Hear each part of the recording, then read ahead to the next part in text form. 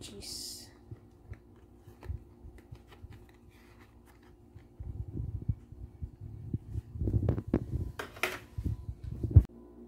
Pangan og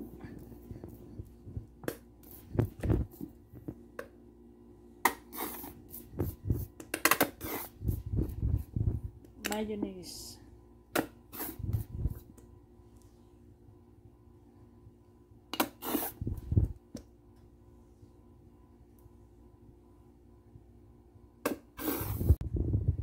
Pangan og black pepper. And last, garlic.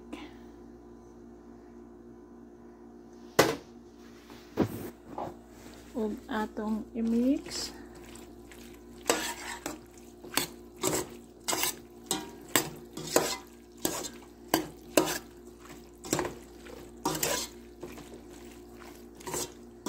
simpleng makaron na pambata eh balik na to sa itoon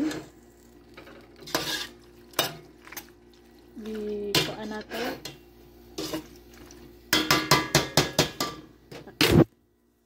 Kuoban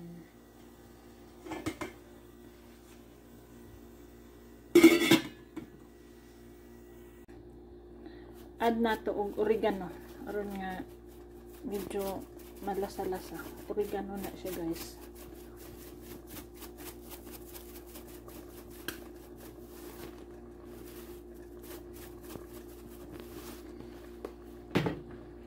So atong okayon o itong hinayan. Stir na to. og